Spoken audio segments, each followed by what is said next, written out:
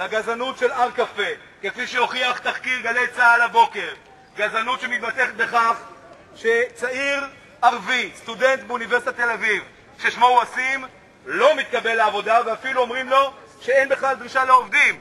צעיר יהודי, סטודנט באוניברסיטת תל אביב, מתקבל מיד, שולחים אותו להתנסות. מה זה אם לא אפליה?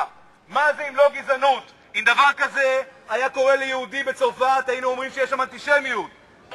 ערבים, יהודים, יחד נגד גזענים. ערבים, יהודים, יחד נגד גזענים. אני ממרכז מוסאווה ואנחנו מטפלים במקרה שנחשף היום.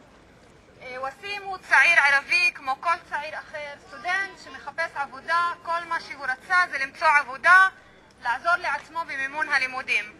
ההבדל היחידי שהיה בינו לבין דור הצעיר היהודי, שניהם ניסו להיכנס לכמה סניפים של אר קפה ולמצוא עבודה.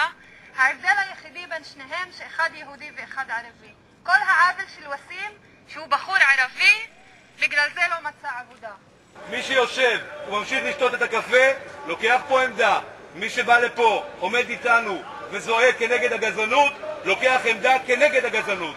אני קורא לכולכם לצאת החוצה, להצטרף אלינו. אני לא מאמין שאתם רוצים לשבת במקום כזה. אני קורא לכולכם לצאת עכשיו, לעזוב את הקפה, לבוא ולהצטרף אלינו ולקרוא לא לגזענות. גזענות זו לא כוס הקפה שלנו. לא שותות, לא שותים בקפה של גזענים! לא שותות, לא שותים, בקפה של גזענים. תחקיר גל"צ לבוקר קובע, הרשת הזו גזענית, אל תשבו ברשת גזענית.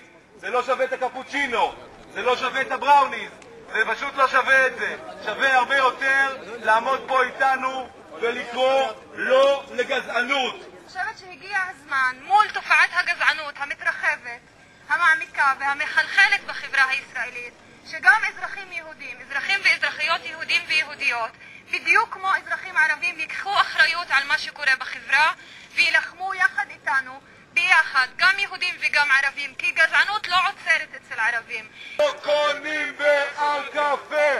לא קונים!